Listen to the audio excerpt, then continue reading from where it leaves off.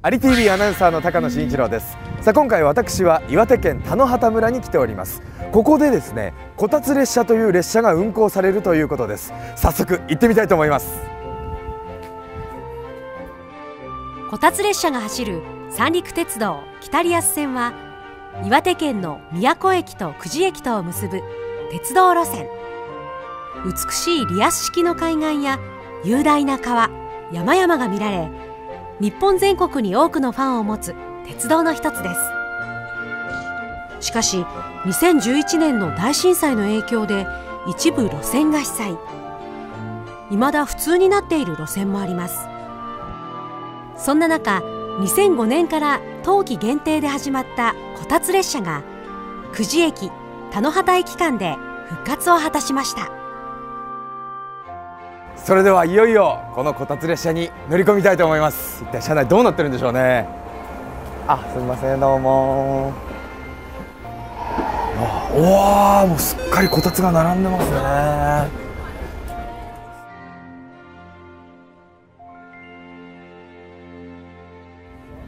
さあいよいよ出発いたしました。どんな景色が楽しめるんですかね。こたつに入りながらしかも列車でそして外の景観を楽しむ。これはかなりの贅沢ですよ。期間限定なのでねこの時期しか味わうことができない。そういった楽しみです。本日は三陸鉄道北流線ご利用くださいましてありがとうございますこの列車は各駅停車の久慈駅です先頭車両中継です今回私が乗った田野畑駅から久慈駅まではおよそ50分の旅。早速乗車していたお客さんに声をかけてみました。乗ってみていかがですか？楽しい。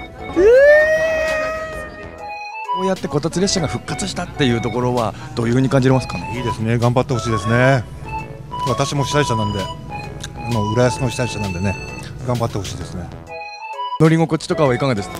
最高ですね、もうビールは飲めるし、つまみは美味しいし、景色はね、雪景色で、最高だよね、こんなのもう経験できないですよ、なかなか。どうも。今日皆さんはどういうお集まりですか？大学の友人です。大学大学の友達同士で。乗られてみていかがですか？はいお弁当も美味しかったですし。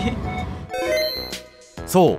彼女が言っているお弁当もこたつ列車の目玉。では早速いただいてみたいと思います。あわび弁当ですからねいただきます。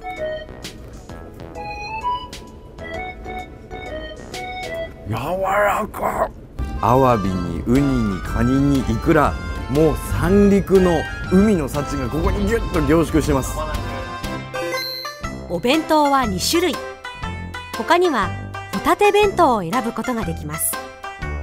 三陸の冬の味覚がてんこ盛りです。ご案内いたします、はいこちらの橋は高さ33メートル長さ302メートルの赤川橋梁です。このオーシャンビューは素晴らしいですね。絶景ポイントで列車が止まり広大なリアス海岸の景色が堪能できます。田野畑駅から久慈駅までの間に見られるビューポイントは2カ所地球って丸いんだやっぱり。綺麗だな